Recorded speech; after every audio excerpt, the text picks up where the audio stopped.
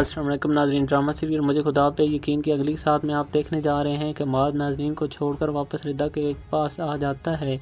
तो नजरीन बहुत परेशान होती है और अपनी वालदा से कहती है कि अम्मा देखो, अमाद मुझे छोड़कर चला गया है। जिस पर शकरा कहती है, छोड़ो अमाद को, अब हमारे पास अच्छा मौका है कि इस घर में जो कुछ है, इसको समेट कर हम यहाँ से कहीं दूर चली जाती हैं।